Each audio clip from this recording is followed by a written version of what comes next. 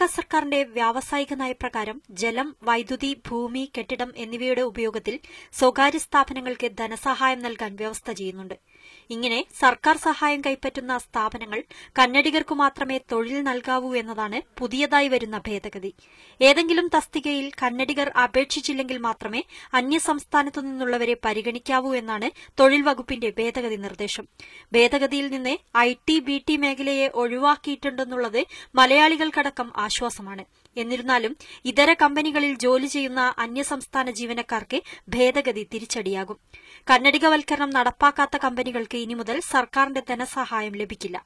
ഭേദഗതി ഉടൻ നടപ്പിലാക്കാനാണ് തൊഴിൽ വകുപ്പിന്റെ ശ്രമം. മാതൃഭൂമി ന്യൂസ് ബംഗളൂരു.